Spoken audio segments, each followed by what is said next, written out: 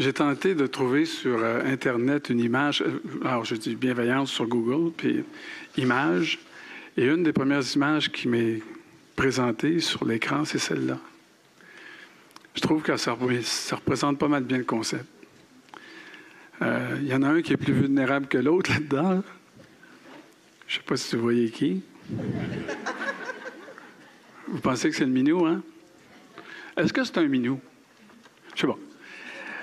Euh, ça peut être l'éléphant si le banc.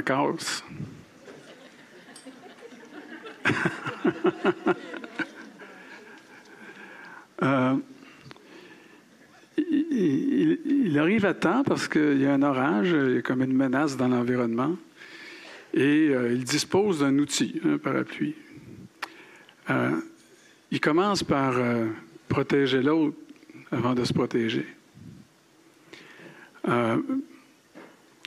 Probablement que s'il est vraiment bienveillant, une fois que la pluie va être euh, terminée, il va le laisser aller euh, gambader quelque part d'autre. Mais c'est comme si on pouvait toujours compter sur lui. Quelque part, il, a l'air à son affaire. Mais je reviens au banc, c'est très important. Il ne pourrait pas être bienveillant si, euh, si le banc n'était pas solide. S'il était dans un environnement où il n'est pas capable de s'appuyer correctement sur un soutien qui lui permet d'offrir euh, aux plus vulnérables ce dont il a besoin. Euh, je ne sais pas, dans votre vie, vous autres, euh, quand, on parle de bienveillance, moi, je, j'ai un palmarès des gens bienveillants dans, ma petite enfance. Je ne sais pas si vous en avez. Quand vous y pensez, est-ce a des gens qui vous reviennent en tête? Vous dites, ah ouais, ouais, ouais, ouais, ouais, ouais. Lui ou elle, là, franchement, elles étaient bienveillants. Moi, j'ai un, short list. Et, euh, ah non, si je, fais, si je fais ça, ça va être terrible de faire ça. Euh, j'ai une liste courte et j'ai une liste plus longue, mais là, je vous présente ma liste courte, puis je voulais. Je ne vais pas parler à propos de chacun, ce serait bien trop long. Ch- chacun d'eux demanderait une très longue conférence. Euh, le premier, c'est Lucien Bouchard, c'est le vrai, là. Euh, il s'appelait Lucien. Euh, c'est le téméraire, euh, le téméraire muet, celui qui m'accompagnait dans des zones de risque puis qui disait jamais rien, qui n'a jamais dit à ses enfants, incluant moi-même, qu'il les aimait parce que ses comportements étaient suffisamment clairs, j'imagine. Je vous raconterai un truc qui vous ferait pleurer sans doute. Je ne le ferai pas, là, regarde. Mais euh, c'est un être euh, extrêmement bienveillant. Lina Bouchard, ben, ça se trouve être euh, une tante par alliance, la femme d'Alonso, qui était dans ma vie une pédagogue rieuse. Elle avait inventé avant le temps toute la question de la théorie naïve de l'enfant, puis comment on- on s'appuyait sur la théorie naïve d'un enfant pour construire euh, un monde plus complexe, un univers peut-être plus réaliste aussi, etc. Mais, mais jamais en disant à l'enfant qu'il avait tort. Jamais. Exemple, d'où viennent les nuages? Moi, j'étais à la tuque, j'étais assis dans l'escalier, ma tante Lynn était à côté de moi. Tu... Sais-tu d'où viennent les nuages, mon Camille? La CIP. C'était l'usine de pâte et papier qui était munie d'une immense cheminée d'où euh, sortait une vapeur continue, euh, qui nous empoisonnait d'ailleurs parce qu'il y avait du souffle là-dedans. Euh, et moi, j'imaginais que les nuages. Elle disait Ah, mais c'est merveilleux! J'avais un prof en psychologie du développement à l'UQAM, euh, Georges Nulting, qui disait tout le temps ça. Tu l'as connu, Georges? là? Ah, mais que c'est intéressant. On disait des conneries. Ah, mais que c'est intéressant. Ben, c'est correct. Il partait de là, puis il nous amenait ailleurs. Puis euh, il était, Georges Nulting était suffisamment intelligent, sensible, euh, euh, aux aguets, qu'il pouvait nous faire rentrer dans la théorie du temps selon Piaget, puis on ne savait pas. On savait pas. On était là. Et puis, il y a eu Germaine Gilbert. Ah, Germaine Gilbert et le pain au raisin, ça, c'est ma tante. Quand elle faisait du pain au raisin, elle m'appelait et elle disait Camille, il y a du pain au raisin. J'ai fait du pain au raisin. Si tu veux monter, c'est le temps parce que ça, part vite. Euh, puis, je pourrais vous en raconter beaucoup sur Germaine, mais il y a Vincent Spain, le dernier, le marchand de rêves. Euh, les Spain sont arrivés là-dessus, c'est une famille d'Italiens, ça, puis ils, ont, décidé de s'appeler Spain parce que leur nom italien était trop compliqué, puis tout le monde les appelait les Espagnols. La famille d'Espagnols, c'est un garçonneau. Fait qu'ils ont dit, on s'appeler Spain. Et les autres, ils vendaient des, meubles.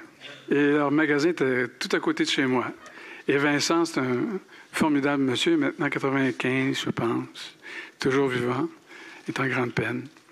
Euh, sa compagne est décédée dernièrement, mais, mais c'est un monsieur qui s'occupait de nos rêves.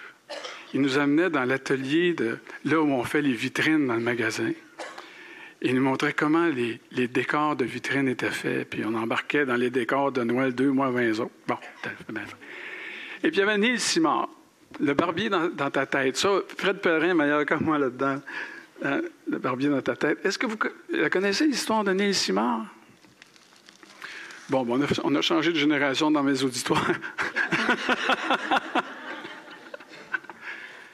Neil Simard, il y avait un barbershop. Un barbershop, euh, dans les années. On va avoir 4, 5, 6 ans. dans les années 50, tu sais, c'est au siècle dernier. Là. Euh, mais il faut dire ça. Tout, tu sais, euh, avait un barbershop salon de barbier. Puis là, il y avait seulement des gars qui venaient là, s'appuyaient sur le mur. Vous avez des chaises du barbier. Parlaient à Neil. Puis quand il arrivait un client, ben Neil prenait le client. Puis, puis là, c'était toujours les mêmes. Et quand tu arrivais comme enfant, tu étais reçu comme quelqu'un de connu. Ah, tiens, c'est Camille. Comment ça va, Camille? Tu viens de te faire faire une brosse encore? On a tout ce qu'il faut. On embarquait sur sa chaise et il la montait. Il y avait un bras sur le côté, là. Puis il te faisait monter à sa hauteur. Déjà, on venait de grandir de 4-5 ans. Là. pas possible. Et là, il s'organisait, Neil, pour nous poser des questions, des devinettes. Puis il y avait une mémoire euh, d'éléphant. Tu sais, l'éléphant du début? Euh, il savait quel genre de questions il m'avait posé la dernière fois que j'avais été à son salon. Il savait que j'allais répondre correctement, intelligemment, et même que j'allais faire rire les galeries.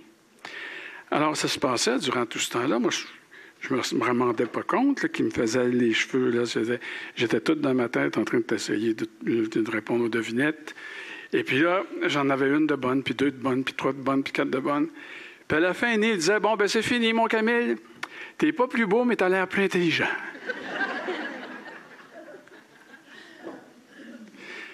Tout ce monde-là avait des conduites et des comportements qui témoignaient à l'enfant, devant l'enfant, euh, qu'ils étaient capables de syntoniser leurs besoins et d'y répondre adéquatement.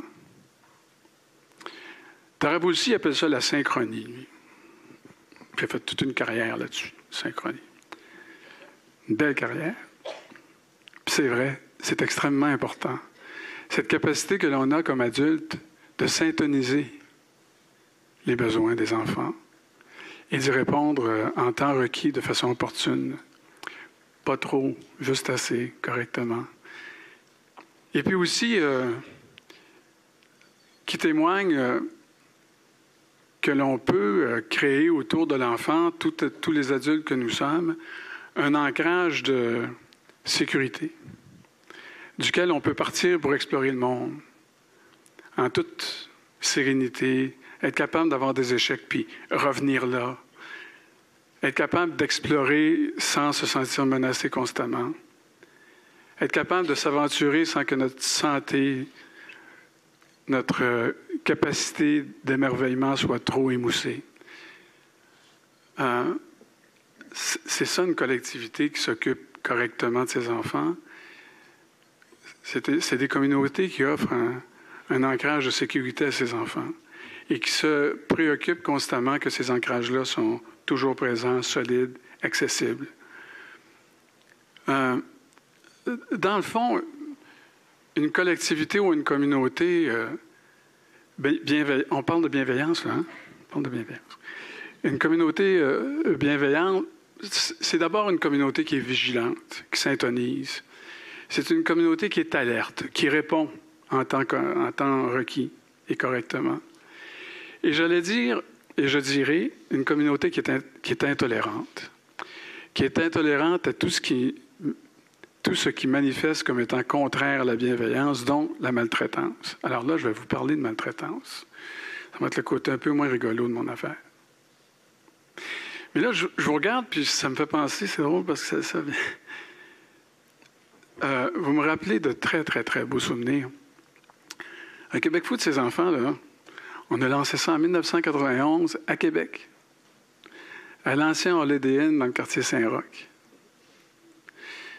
Marc-Yvan Côté, qui était un ministre de la Santé, un très bon animateur de son réseau, faisait un maudit show à chaque fois avait, invité je ne sais pas combien de centaines d'intervenants du réseau à venir assister au lancement. Je ne sais pas s'il y a des gens qui étaient là. Personne qui était là. Hein?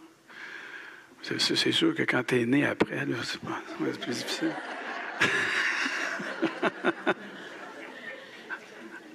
Mais c'était un moment extraordinaire. Et Marc Yvan, qui est côté, qui était sur. Euh, puis je ne sais pas si ça rappelle, mais c'était tellement drôle.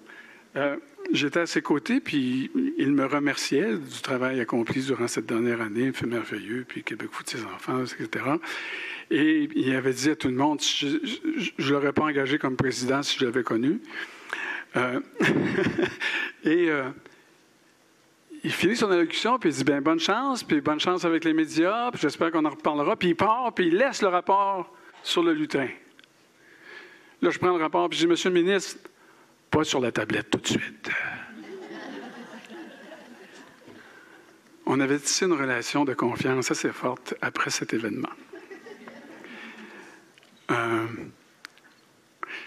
il s'est passé, euh, euh, je devais parler de ce qui s'est passé depuis au siècle dernier, finalement, en 1991, à Québec pour ses enfants. Puis je dirais qu'on a fait des choses absolument extraordinaires au Québec pour les, les tout petits, notamment, on a beaucoup oublié les adolescents, je vous dirais, puis euh, les 6-12 ans sont dans les tout le temps, on dirait, dans nos, discours.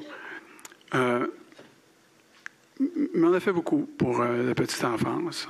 Taux de pauvreté qui a diminué, bon, système de services de garde de qualité plus ou moins variable, mais quand même un réseau unique. toutes sortes de trucs. Euh, la loi sur l'équité salariale, ça aide beaucoup les enfants. Euh, mais je pense qu'il y a une dimension qui nous a complètement échappé, c'est les mauvais traitements vers les enfants. Dans, Québec, Québec Foot, ces enfants, on disait qu'on on devait viser euh, sur 10 ans réduire de 50% les, signalements retenus à, la protection de la jeunesse. on est loin de là, on a augmenté considérablement. je, vais vous montrer quelques graphiques. Euh, mais disons que c'est mon grand sujet d'inquiétude depuis des années, des années, des années. Je, pense qu'on est en train de sortir du déni, mais je ne suis pas tout à fait certain. On va bien voir ce que la commission va, là où la commission euh, spéciale sur les droits des enfants et protection de la jeunesse va nous amener. Mais il nous a quand même fallu une coupe de secousses importante pour que, comme euh, société, on se réveille.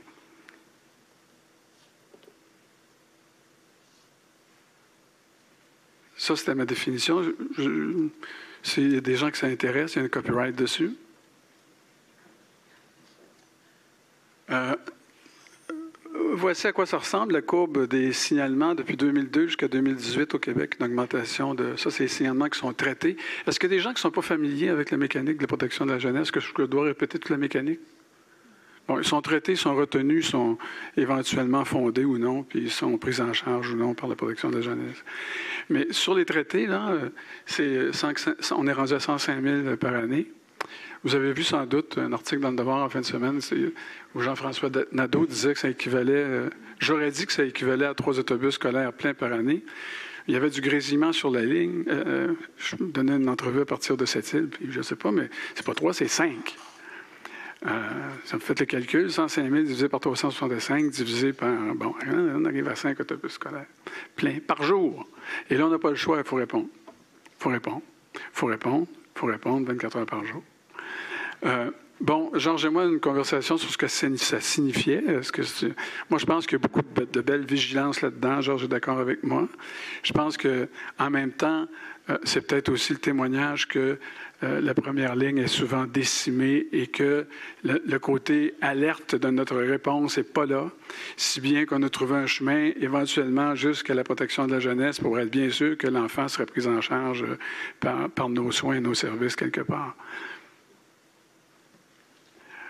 Euh, ben voilà, ça c'est la, traduction en taux. On est parti d'un taux de 38,3 euh, sur 1000 en 2002 et 16 ans plus tard, on se retrouve avec un taux qui est euh, à 67% Ce qui est dans n'importe quel domaine de santé, pensons-y, une augmentation de cet ordre-là, c'est la croix et la bannière. La croix et la bannière.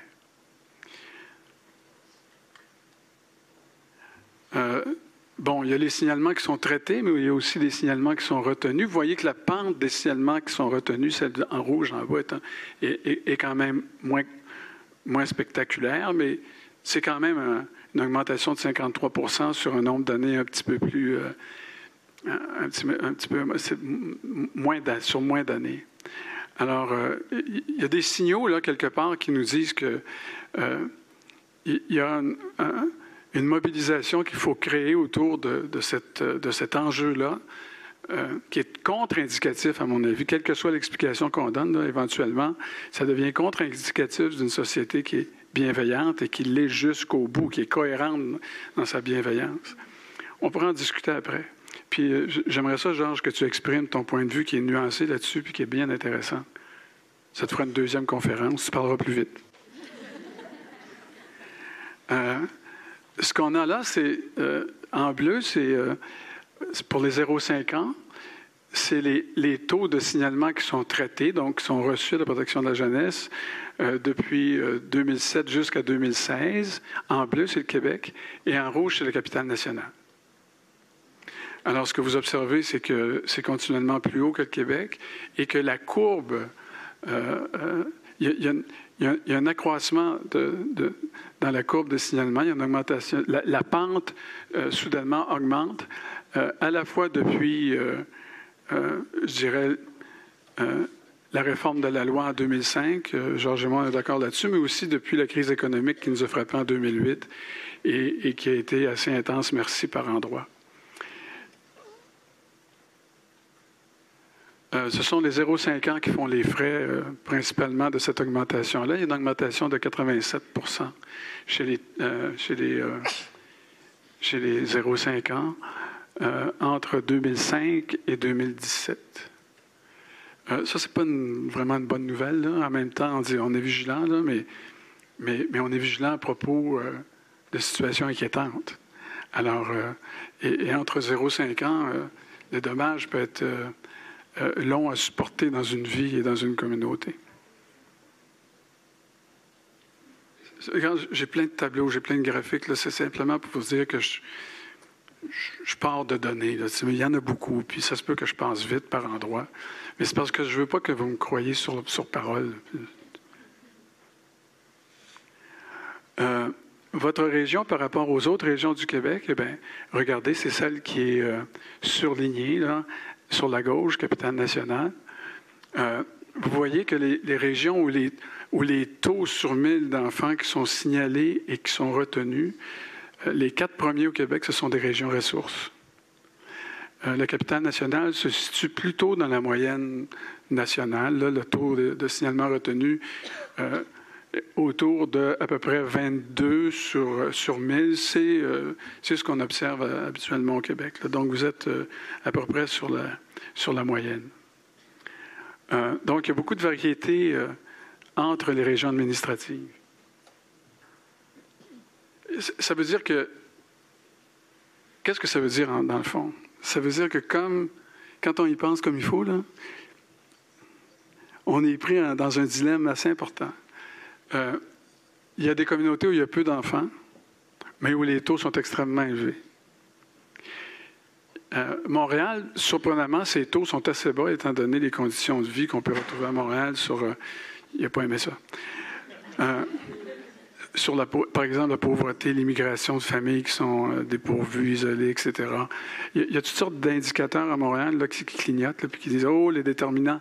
Mais finalement, quand vous regardez le taux, il y, a un gros volume, mais le taux est assez, est assez bas, quasiment la moitié du taux national dans les signalements retenus. Alors, ça veut dire quoi? Ça veut dire que si tu nais sur la côte nord, la probabilité que éventuellement il y a un scénario de mauvais traitement autour de toi est plus fort, beaucoup plus fort. Beaucoup plus forte cette probabilité que si tu nais à Montréal. Alors, où est-ce que tu interviens en premier? Là où il y a un gros volume ou là, où euh, le taux est élevé? Et il y a quelque chose dans l'administration et la gestion de nos services euh, qui est assez compliqué là-dedans. Mais moi, j'ai toujours un penchant pour dire euh, euh, il faut s'occuper de la probabilité. Euh, est-ce qu'on accepte dans une communauté comme la nôtre que si on habite sur la côte nord, si on habite en, en Abitibi-Témiscamingue, la probabilité que je sois éventuellement l'objet d'un signalement est plus forte que si j'habitais à Montréal? Ça, je trouve ça assez aberrant. Pour revenir à chez vous, ben, ça, c'est des courbes qu'on retrouve à peu près partout au Québec. L'accentuation de, la courbe que vous avez vue tout à l'heure, c'était chez les 0,5 ans. Celle-là, Georges, ça vient de chez vous, mais ce n'est pas les 0,5 ans. Hein. Ça, c'est les 0,18 mais ça me surprendrait que ce soit très, très, très différent avec les 0,5 ans, mais il y a une augmentation assez importante du côté de la négligence, un peu moins importante du côté de l'abus physique, mais quand même importante, et du mauvais traitement psychologique, un bon après 2005, évidemment, parce que c'est une nouvelle catégorie. ensuite, un plateau, puis soudainement, une augmentation en 2013-2014 que je ne saurais euh, documenter et, commenter, mais vous le savez peut-être mieux que moi sur le terrain. Mais alors là, il y a, quelque chose de surprenant. Ça va jusque-là? Si vous êtes tanné de voir des graphiques, je peux arrêter là direct puis raconter des histoires, là, pas de problème. Euh, qui rapporte? Bien là, alors on entend souvent des commentateurs Ah, ben là, euh, c'est pas un nouveau phénomène, c'est que la population est plus sensible. Ah oui? Bien là, ce qu'on trouve, euh, contrairement à cette affirmation, que ce n'est pas la population qui signale, toute proportion gardée, le plus. Sur 100 signalements, là, ça vient des services publics. Ceux qui sont les plus en. ceux qui arrivent au guichet, qui téléphonent, parmi les 105 000, c'est beaucoup les services publics, beaucoup plus que les autres, et c'est en augmentation assez importante depuis la réforme de la loi, depuis la crise économique, euh, depuis les périodes d'austérité gouvernementale, depuis euh, J'emploie deux expressions dans la vie concernant les. Puis je ne veux pas trop, trop vous décourager, hein. quoique je peux partir assez vite après, mais euh, euh, j'emploie deux expressions. C'est que nos services de première ligne, euh, les services de DPJ avec la réforme Barrette ont été carrément désossés et les services de première ligne ont été décimés depuis longtemps. Et, et je pense qu'on a une attention toute particulière à à refaire le banc sur lequel l'éléphant est assis. Euh, ce banc-là euh, a subi plusieurs euh, faiblesses. Il y a plein de, il y a plein de cracks là-dedans. on pourrait toujours en, parler un peu plus, mais moi, je suis bénévole comme consultant sur la Côte-Nord, puis les gens me disent là-bas, écoute, on n'a pas de problème de ressources financières, on a des problèmes de ressources humaines. Euh, c'est la croix et la bannière pour engager les gens, c'est la croix et la bannière pour arriver à les suivre, à les monitorer dans la formation, leur offrir des services de formation adéquats, de supervision clinique adéquate, etc., etc., etc. Moi, je pense que la commission va entendre ça très souvent à partir du 26 novembre. on va se mettre à dire toute la même maudite affaire, tout le monde. Mais, mais il y a quelque chose de très réel là-dedans. Moi, quand je vois cette courbe-là, je me dis, il y a une détresse quelque part aussi. enfin, il y a un malaise, une détresse, une incapacité euh, à se montrer bienveillant tout de suite euh, de la part de nos services. Pas que penser qu'on ne veut pas, c'est que très souvent, la meilleure façon d'être bienveillant, c'est de signaler, parce qu'on n'a pas d'autres moyens. Je raconterai tantôt ce qui se passe un petit peu plus euh, sur la côte nord. Bon, puis c'est pas partout pareil, hein? Euh, il y a quand même des MRC chez vous, là. Puis, euh, comme par exemple, les taux de pauvreté sont la moitié moins euh, dans, dans le Jacques Cartier de ce qu'ils sont dans le capital national, euh, moins sur la côte de Beaupré de ce qu'ils sont dans le capital national. Puis là, score, j'arrivais pas à le comprendre, de 23,9% de taux de pauvreté à l'île d'Orléans. Je me dis que c'est ça? Ça se peut pas. Alors, je suis allé voir, c'est 10 familles, dans le fond, parce que. Euh, mais il n'y a pas de famille là-dedans, là. Ce sont des personnes seules. Alors, j'imagine, qu'est-ce qu'il y a à l'île d'Orléans? Est-ce qu'il y a un, CHSLD?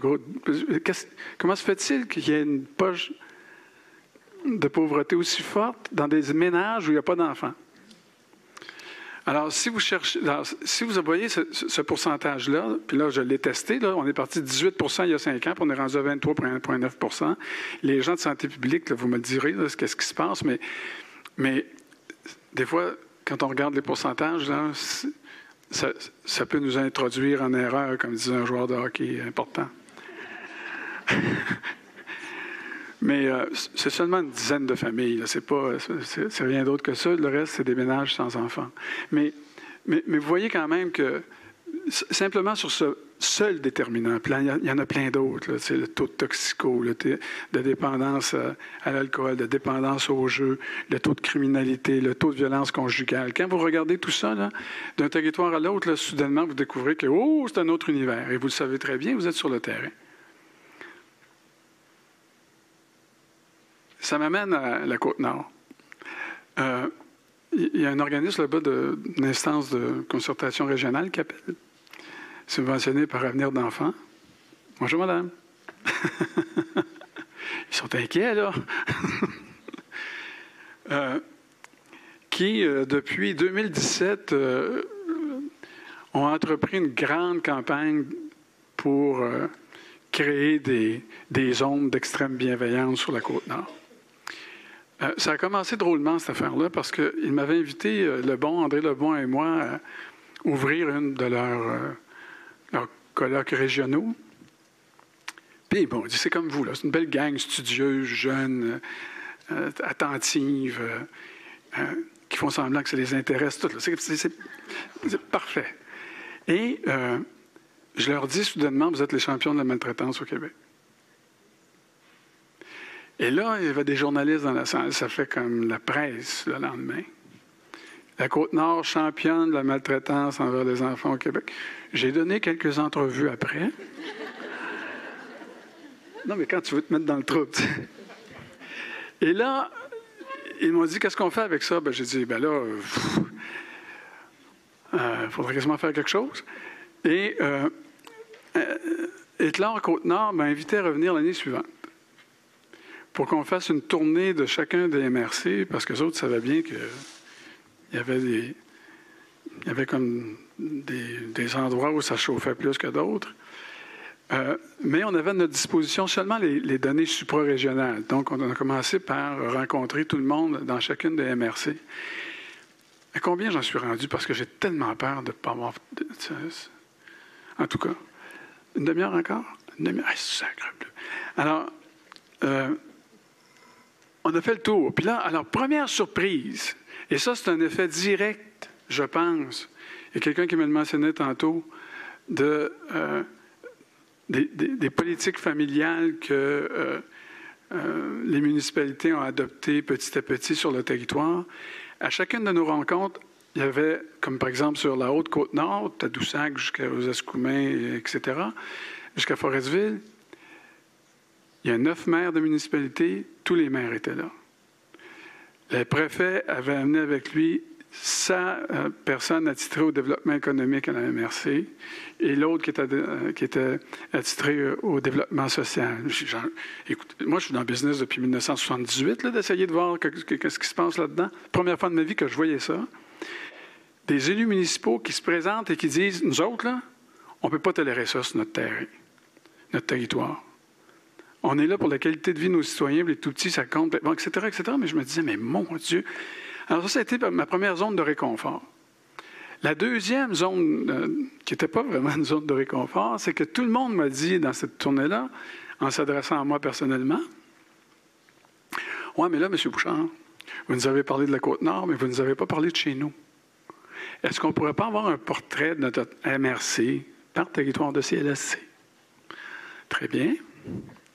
Alors, on a réussi à obtenir une collaboration extraordinaire de la direction de la protection de la jeunesse là-bas, Mme Gallagher, qui nous a livré les données par territoire de CLSC.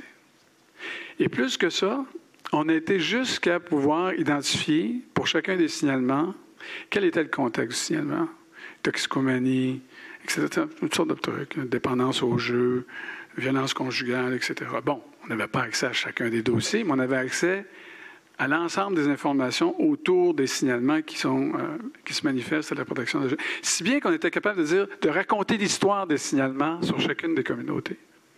Ça a été extraordinaire.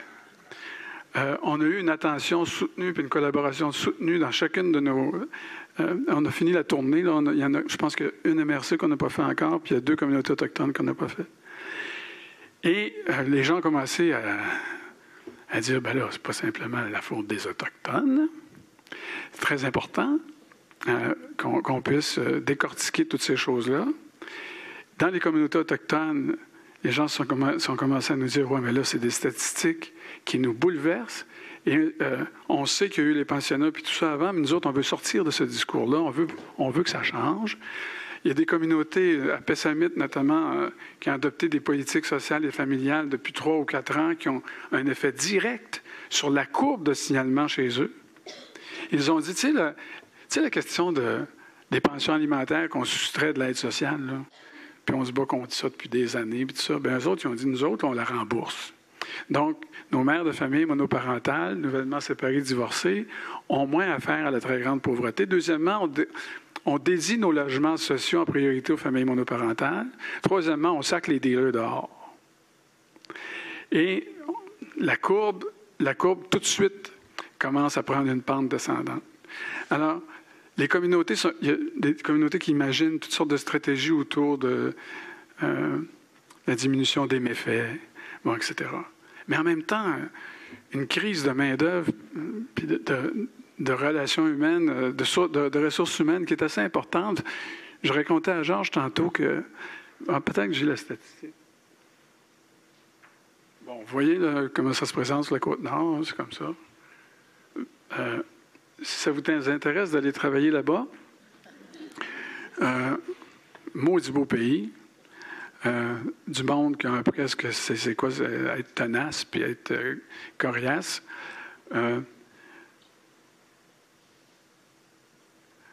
Euh, une population qui, euh, regardez par rapport à la capitale nationale, au niveau de la scolarisation, vous êtes à 8,3% de gens qui ont euh, sans diplôme ou pas de diplôme secondaire, 8,3% ben, Sur les Côtes-Nord, 21,3% Ça fait une grosse différence en termes de déterminants. L'intervention pour euh, infraction euh, contre la personne commise dans un dans la communauté. C'est aussi, vous voyez l'histogramme qui est assez impressionnant aussi. Puis les régions ressources sont toujours un petit peu dans, dans, Puis moi, j'ai été amené à, travailler comme bénévole dans plusieurs régions ressources. Puis franchement, la crise de la foresterie, ça a été dévastateur. Euh, les crises cycliques autour de, l'extraction des, ressources, c'est majeur aussi. Quand il y a un boom, il y a des problèmes. Quand il y a un bust, il y a des problèmes. On dirait que les ressources euh, de services et de programmes arrivent toujours comme euh, un cycle en retard. alors, bon, alors ça, c'est une autre carte qui est accablante. Je ne la commenterai pas. mais il y a des choses qui se font qui sont absolument hallucinantes. Là, tu vas sur la côte nord, là, puis tu vas sur le, site du, du, 6 et tu demandes euh, données. Et tu arrives dans les données, puis là, tu as le portrait mis à jour à 7 heures le matin de tous les signalements depuis le 1er avril. Les traités, les retenus, euh, les non retenus, euh, les enfants qui sont en attente d'évaluation, le délai moyen d'attente d'évaluation. Vous voyez que cette journée-là, sur la côte nord, avant-hier, euh, le maximum qu'on peut tolérer dans le système, c'est 12, on été rendu à 52. Euh, bon, des trucs comme ça. Et on peut l'avoir par MRC, euh, par territoire plutôt de CLSC, autochtone, non autochtone. Alors, si vous voulez, vous n'avez pas quoi faire entre 7h30 et 8h le matin, juste avant de partir, amener l'enfant le service de garde, vous pouvez calculer le taux si vous avez le dénominateur, tu sais, et vous pouvez prédire vers quoi on se dirige dans une année sur le territoire. Euh, moi, on dispose de tous les outils pour faire le monitoring, pour sonner l'alarme, sonner l'alerte, euh, etc., au, sujet de ce qui se passe dans nos communautés vu cet indicateur de maltraitance ou de malveillance au lieu de bienveillance. On, on dispose de beaucoup d'outils qu'on peut éventuellement mettre à profit.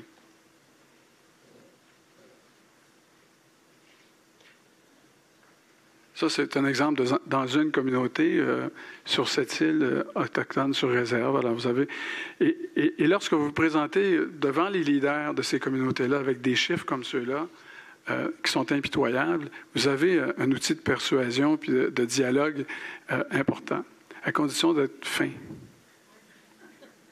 non accablant, et, et d'être dans le mode de la solution plutôt que dans le mode du blanc. Alors donc, euh, l'idée, c'est que euh, nous devons faire mieux. Les gens disent, ah, c'est parce que tes lettres dépassent. Mais la gestalt, vous connaissez ça? À vous compléter, hein? Et c'est fait pour ça. Euh, c'est fait pour ça. Nous devons faire mieux, c'est qu'il faut dépasser nos limites. Il faut aller plus loin que ce qu'on a déjà fait. Beaucoup, j'insiste, beaucoup mieux. Comment? Là, j'ai exagéré un peu.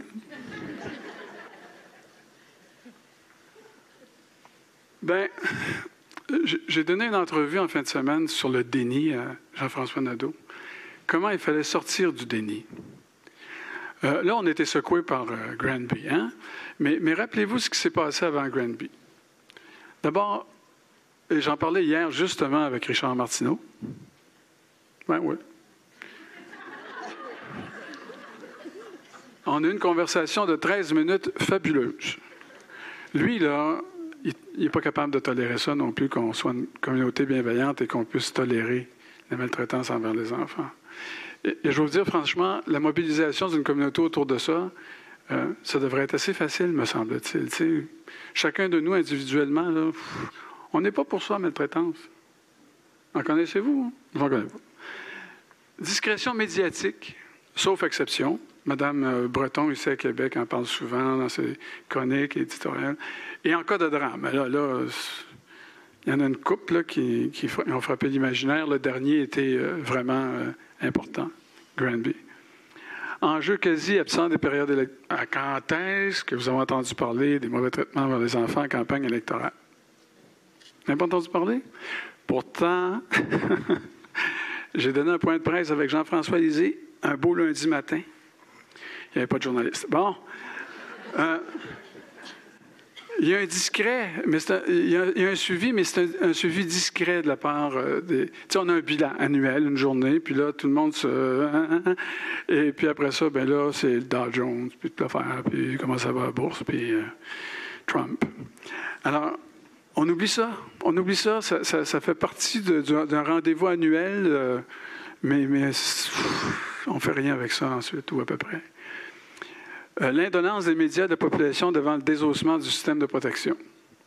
Moi, on parle des urgences, là, tout le monde est alerté, puis euh, du chauffeur de taxi au ministre, tout le monde en parle, puis on est tous documentés, on a tous notre opinion, mais Lorsqu'est arrivée la réforme Barrette, je m'excuse auprès de celles et de ceux qui sont sympathisants, mais lorsqu'est arrivée la réforme Barrette et qu'on a vu ce que ça donnait dans le système, ce que ça allait donner dans le système, c'était évident, là, tu la tu arrêtes de financer l'Association des centres jeunesse du Québec, mais tu viens d'enlever le banc, une partie du banc de l'éléphant. Tu viens d'enlever une, association qui faisait le monitoring des bonnes pratiques, qui diffusait des échanges importants au sujet de, ce qui était innovateur dans les communautés, ce qui allait moins bien, etc. C'est extrêmement important au niveau de la formation aussi, du suivi de. Et, puis, la main-d'œuvre expérimentée euh, euh, qui nous quitte. Euh, assis sur d'autres chaises ailleurs, etc. Des nouvelles personnes, sans doute fort compétentes, mais souvent dans d'autres domaines, euh, qui doivent s'acclimater, puis bon.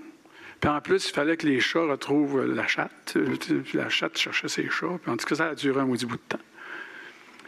La politique de prévention en santé, c'est Madame, euh, Madame Charlebois. Euh, occasion ratée, il n'y a pas un mot sur la maltraitance la, politique de prévention. Il y, a, une référence au fait qu'on devrait réduire à 20% le nombre de décrocheurs, le nombre d'enfants qui se présentent à la maternelle avec un. Mais rien, rien sur la maltraitance. Il y a eu quelque chose en itinérance.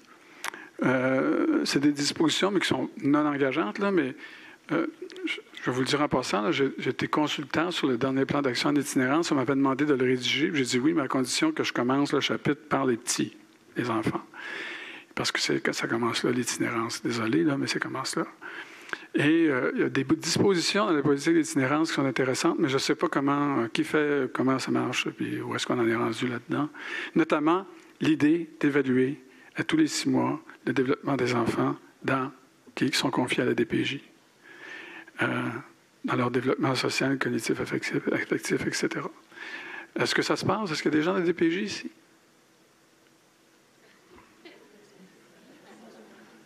Est-ce que, vous le faites?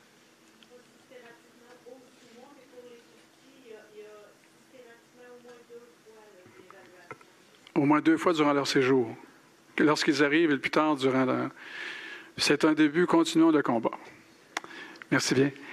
Et euh, aucun objectif national de, réduction de la maltraitance. Autrement dit, d'augmentation de notre bienveillance, d'accroissement de notre bienveillance envers les enfants. Alors, lors de. Je, vais être invité à, présenter un mémoire euh, que je n'écrirai pas, mais que je vais dire à la commission spéciale, euh, le 26 novembre prochain. Vous avez une primeur à 13h30. Faire monter, monter la, cote d'écoute, c'est parfait. Euh, et, je vais leur dire, ça nous prend, ça nous prend, ça nous prend une politique nationale de bienveillance envers nos enfants. Ça nous prend un, printout. Quand j'ai écrit un Québec fou de ses enfants, un Québec fou de ses enfants, le titre, ce n'était pas que le Québec était fou de ses enfants. C'était que c'était, c'était comme une invitation. Alors, on a besoin d'un plan national de bienveillance envers les enfants. Puis le premier indicateur, je vais leur proposer, c'est euh, nos taux de, signalement retenus, avec toute la réserve qu'on peut avoir, mais c'est les taux de signalement, c'est la maltraitance. Euh, et je pense que cette politique devrait au moins reposer sur quatre euh, euh, principes importants. D'abord, principe, pas, principe, mais conduite importante. D'abord, il faut sortir du déni. Sortir du déni, c'est pas simplement dire euh, il y a un problème, c'est dire c'est notre problème. C'est comme, moi aussi, là. on a un objectif national de réduction de mauvais traitement vers les enfants. Il faut se doter d'un leadership assumé et qui a des dents. Moi, quand je vais dans une région, puis je demande, bon, ben, vers qui, qui s'occupe de faire le suivi des mauvais traitements vers les enfants chez vous, les statistiques, etc., qui réunit tout le monde, qui dit, ben voici par où on devrait s'en aller, puis voici ce que toi tu peux faire, puis toi, qu'est-ce que tu veux faire là-dedans, etc., puis on a tous le même objectif, puis on va se revoir dans un an pour voir si on a eu des... Qui, qui, qui, qui, qui fait ça? Tout le monde se regarde euh, en disant, ben on ne sait pas qui, on ne sait pas qui, on ne sait pas qui. Je vais tenter de dire à la commission qui. Je ne peux pas vous le dire tout de suite parce que là, vous n'allez pas s'intoniser. Et puis informer la, population constamment et sans relâche. Moi, là, Gérald Filion, le soir, il est installé au bout de la table, puis il nous dit que le Dow Jones a piqué du nez, puis un autre est monté, puis tout ça. Puis on écoute ça, puis on se dit, ben, coudons, ça va mal. Ou, hey, ça va bien. Mais quelque chose nous dit que il y, a comme un, il y a comme un indice qui se promène. Et si on veut s'informer un petit peu plus, on peut, mais quand ça va mal, Gérald nous le dit. Là, tu Pour les enfants, on n'a rien. moi, je rêve du jour où, euh, au bout du pupitre, quelqu'un dira euh, euh, cette semaine, parmi les indicateurs de bienveillance envers les enfants, tac, tac. Parmi les indicateurs de malveillance, tac, tac. Euh, en haut, en bas, les flèches, ça. Hein.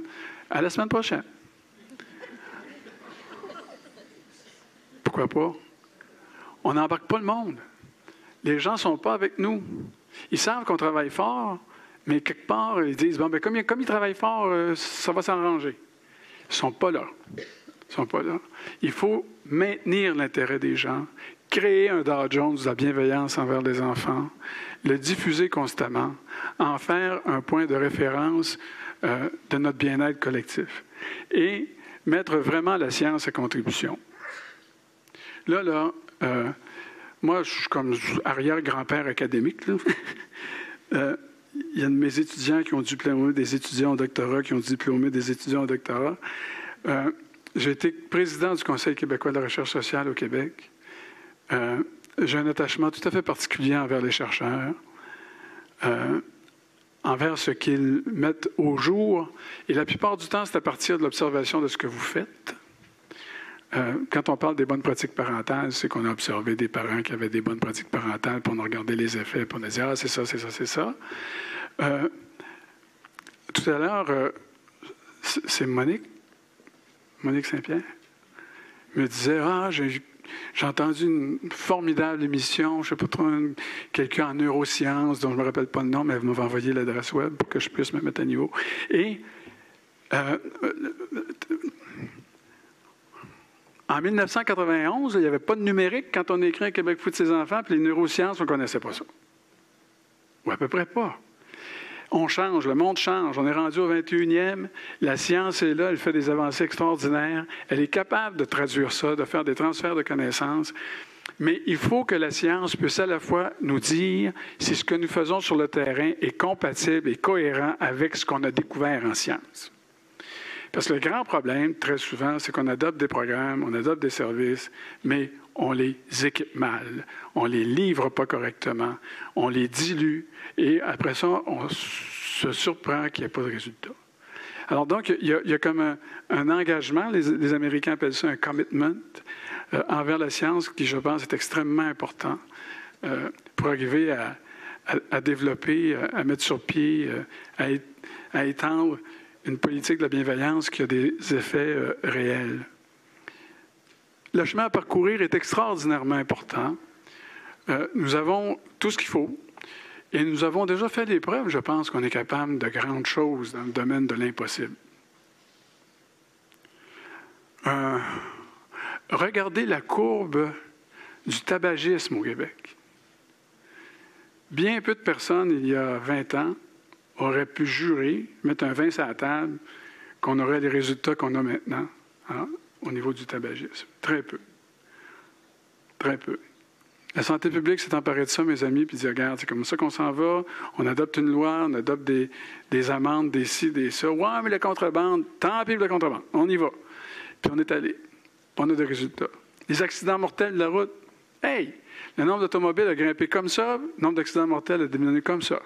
Parce qu'on s'est donné des politiques, des plans d'action, puis on est arrivé à faire quelque chose. Et là, on, pourrait énumérer d'autres trucs qu'on a fait le, taux de, violence, le taux de violence, euh, euh, d'agression euh, grave qu'on enregistre dans les communautés canadiennes envers, les autres personnes. Le Québec est parti de là, on est désormais des champions. Notre, courbe a a baissé, drastiquement. On a mis de la répression, il y a toutes sortes d'affaires. L'éducation, on est arrivé à le faire. Alors, on est capable de relever des défis comme ceux-là et vous avez, et nous avons, euh, dans la société québécoise, dans nos communautés, euh, je pense, suffisamment de sympathie et d'empathie envers les, tout petits enfants pour que cela soit même plus facile que ce qu'on a déjà accompli. Alors, vous êtes des acteurs importants de, de cet élan national que je souhaite.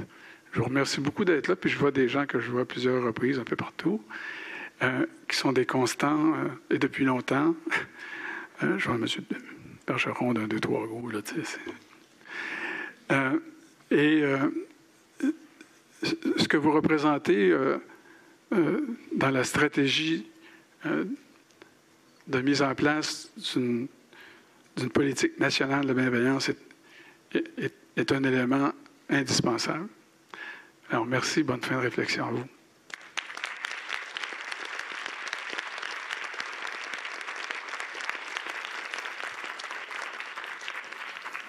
Vous restez ici?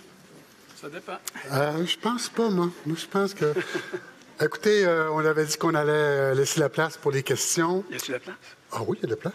Ah, ah non, ben non, il ne faut pas le voir comme ça. Alors, euh, s'il y en a qui ont des questions à poser à M. Bouchard, Allez-y. euh, levez-vous. Il y a un micro qui est un petit peu plus au centre, un autre un peu plus à l'arrière. Donc, euh, gênez-vous pas, c'est le temps, il est ici. Et on a quelques instants pour pouvoir prendre vos questions pour qu'il puisse y répondre.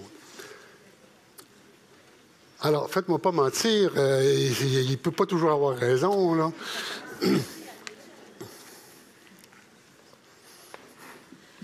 Merci, M. Bouchard. Euh, on parle d'une synergie collective, mais comment on peut faire passer ce qu'on souhaite individuellement vers le collectif pour que ça crée cette force-là? Oui. Euh, ben, des fois, il y a des événements qui, qui nous aident, malheureusement. Hein, Granby, c'est ça. hein? Il y a un avant Granby, un après Granby. On va toujours avoir une référence à cet événement-là qui nous a tous secoués. Euh, D'autres événements auraient pu avoir le même effet auparavant. Il y a, toutes sortes de circonstances. Mais ça, c'est un élément important. Fortuit, malheureux, mais malheureusement, des fois, quasiment indispensable.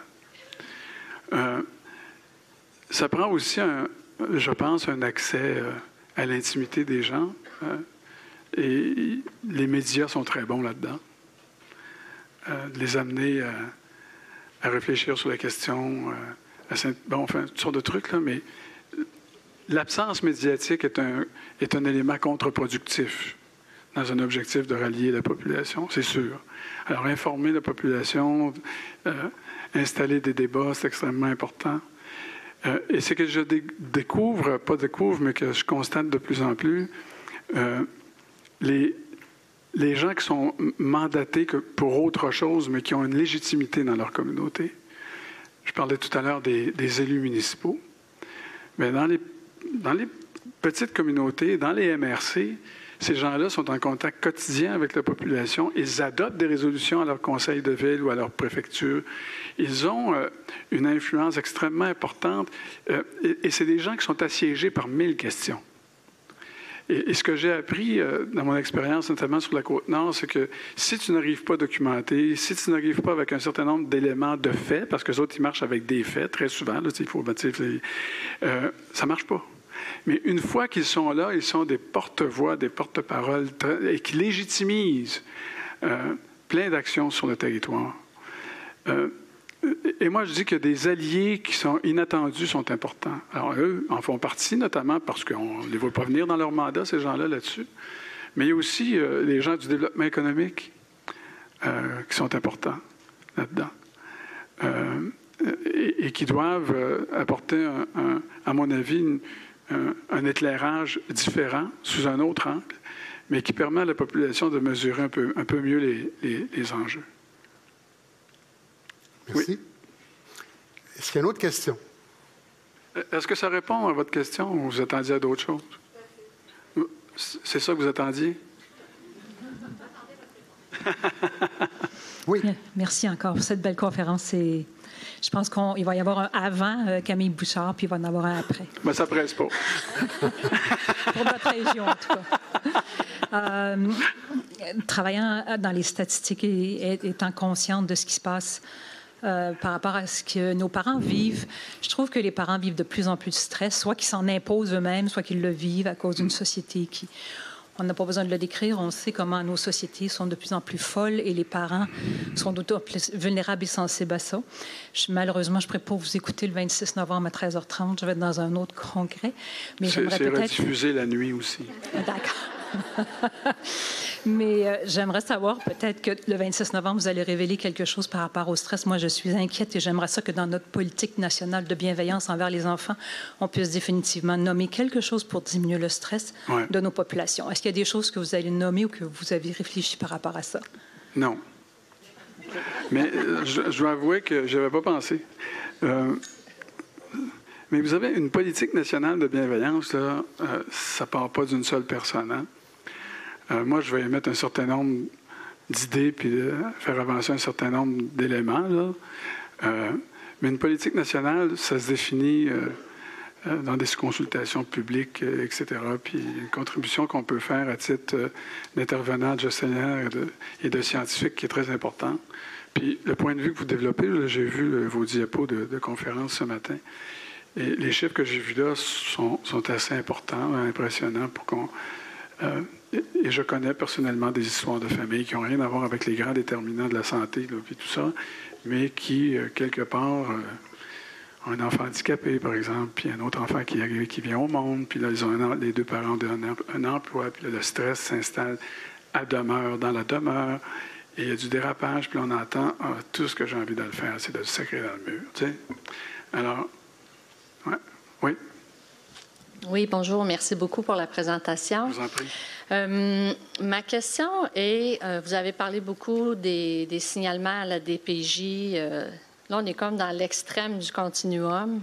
Puis je me rends compte, moi je travaille en santé publique, on est loin souvent de la DPJ. Nous autres, on est au début du continuum en promotion-prévention. Est-ce que, genre, question qui tue, la promotion-prévention dans votre politique de bienveillance devrait-elle être une portion importante? Est-ce qu'on peut faire la différence de travailler auprès de ces enfants-là en amont des problèmes avant qu'ils arrivent à la DPJ? Si oui, ça serait le fun qu'on vous en parliez le 26 novembre à la commission.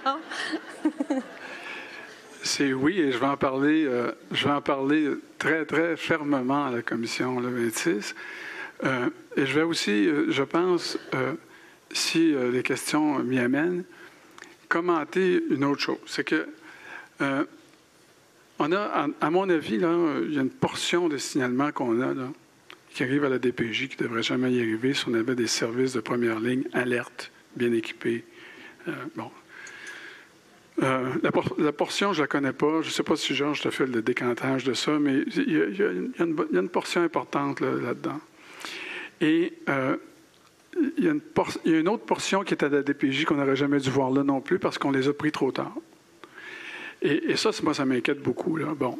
Alors, on pourrait faire diminuer cette courbe-là euh, sensiblement, je pense. Mais, là, vous avez parlé d'un continuum. Le continuum ne se parle pas. Là, il y a la DPJ, vous m'avez décrit à l'autre bout, là, puis la promotion à ce bout-là. Mais l'idée qu'on s'attelle tout le monde. Moi, ce que, ce que, les données de la Côte-Nord m'ont réveillé m'ont révélé tellement de choses. Les données de la DPJ par rapport à ce qu'il faut faire en première ligne. Incroyable. Incroyable. Les mauvais traitements psychologiques, Marie-Hélène Gagné, qui est une spécialiste là-dedans, qui est une ancienne étudiante, une ex-étudiante au doctorat avec moi, puis qui a travaillé beaucoup sur les mauvais traitements psychologiques, on, avait l'habitude de dire autour de la table, mauvais traitement psychologique, c'est la terreur, l'humiliation répétée, etc., etc., la menace envers les enfants. Et là, je découvre sur la Côte-Nord que, oh, non, attends, attends, attends, qu'est-ce que les, les intervenants écrivent sur leur feuille au signalement? violence conjugale, séparation, divorce, etc. Le diable est pogné dans la cabane. Violence conjugale. Et là, l'enfant arrive à l'école le matin, il est tout désorganisé, il n'a pas dormi. Il dit Maman a été battue. Il y a toutes sortes de trucs là, qui se passent. L'enfant est dans une désorganisation totale. Moi, franchement, je, l'ai appris de. Je, je le savais, mais là, j'ai vu l'importance que ça prenait d'avoir la DPJ qui m'envoyait les données, qu'on discute avec une table sous-régionale de ces données-là. La DPJ était là. La DPJ nous a accompagnés tout au long de notre tournée auprès des services de prévention et de promotion pour expliquer ce qui arrivait à l'autre bout. C'est de l'or en bord. Et, je pense que si on arrive à connecter ces deux bouts-là, on va avoir fait un, travail formidable. Ça ne se peut pas que, comme intervenant de première ligne et gestionnaire de première ligne, on ne soit pas intime avec les données de la TPJ si on se préoccupe du bien-être des enfants. Ça ne se peut pas. Merci de la question. Vous reviendrez. Prochaine question. Euh, Monsieur Boussard, je vous remercie euh, pour votre position avant-gardiste et même si vous parlez tout le temps, vous faites référence euh, au siècle dernier, vous êtes encore visionnaire ben, merci de Même votre, avec les milléniaux. Merci de votre attention soutenue. Il y a quelques, personnes dans la salle qu'on regarde quand on parle pour voir si ça marche. Merci bien. Euh, je voudrais continuer dans le même sens que Sonia Dugal. Euh, pour la, prévention, promotion, par rapport à toute la, de tenir compte de cela dans la future politique et on, souhaite aussi le plan d'action, mais aussi toute euh, dans la, réflexion des, critères pour votre fameux Dow Jones de, mm-hmm. de la bienveillance. Euh, vous avez parlé des communautés autochtones, de la mhm. spécificité et euh, du vécu de ces, de ces communautés-là, mais il y a aussi les communautés immigrantes. Vous savez que dans la protection de la jeunesse, ces communautés sont surreprésentées dans ces services-là. Il y a une grande préoccupation par rapport à ça. Et je voudrais savoir si vous y, vous y avez pensé, vous tenez compte de cela dans votre bon, vision. Merci. Non, euh, écoutez, la réponse, j'y ai pensé. Est-ce que j'en tiens compte? Euh, finalement, je vais le dire ce que je vais dire à la commission, ça n'a pas de bon sens. Mais ce que je ne dirais pas, euh, mais je n'aurai pas le temps d'aborder ce sujet-là, mais c'est très important ce que vous soulevez. nous avions fait à l'époque, avec une étudiante au doctorat à l'UQAM, une analyse des signalements qui venaient des communautés immigrantes mais c'est pas comme ça qu'ils sont définis dans des dossiers. Ils sont définis comme parlant français ou non, parlant anglais ou non. Finalement, on déduit qu'ils parlent d'autre chose. Euh, et euh, le type de signalement qu'on recevait à la protection de la jeunesse, c'est les autres familles québécoises de souche. Et sans vouloir caricaturer la situation, d'un côté, on, a inventé le terme, je pense, à l'époque, c'était pas très beau, mais en tout cas, d'un côté, on avait, vous savez, dans la tradition des PJ, là, on a des familles dysfonctionnelles, multidysfonctionnelles, pluridysfonctionnelles, on a dysfonctionnelles. Mais chez du, côté des familles immigrantes, c'est dysnormatif. Autrement dit, on était dans un univers où la famille n'était pas désorganisée, mais elle était asynchrone euh, étant donné les valeurs et les pratiques parentales euh, de la majorité dans laquelle elles arrivent. Et euh, d'ailleurs, si vous regardez les données là, dans la région montréalaise, l'abus physique augmente plus que la négligence. Hein. Et je ne sais pas, je fais un lien avec ça, qui peut être documentable ou non, là, puis peut-être c'est une hypothèse, ou je, sais les hypothèses parce qu'on peut vérifier, mais, mais vous soulevez un point important. Euh, mais je pense qu'on va redécouvrir ça, c'est qu'il y a souvent des familles euh, tout à fait euh, fonctionnelles, mais dont les pratiques, les conduites et, les préoccupations sont loin de ceux de la norme dominante. Et c'est important qu'on puisse en discuter en vertu de quel effet, quel effet ça a sur le développement de l'enfant. Parce qu'on peut rester là-dedans et dire Ah, ben là, ils n'ont pas les mêmes pratiques, donc euh, on peut comprendre. Oui, mais est-ce que ce sont des pratiques qui sont favorables au développement de l'enfant, étant donné la communauté dans laquelle il se trouve maintenant? Et ça, c'est la question qu'il faut poser, je pense. Merci. Dernière question rapidement, s'il vous plaît. Oui. Bonjour, M. Bouchard. Merci de persister à promouvoir la bienveillance des parents. C'est tellement important. Je travaille au social en CLSC, programme 0-4 ans. Ah. Euh, j'aimerais savoir... Parce Vous avez dit ça, là, chez le frisson. Oui. Chanceuse. c'est un défi pour nous autres d'intégrer les papas dans les suivis. Euh, et je ne sais pas si c'est une des sphères des choses sur lesquelles vous vous êtes penché, mais euh, c'est un de nos grands défis. On essaie de les rencontrer en soirée.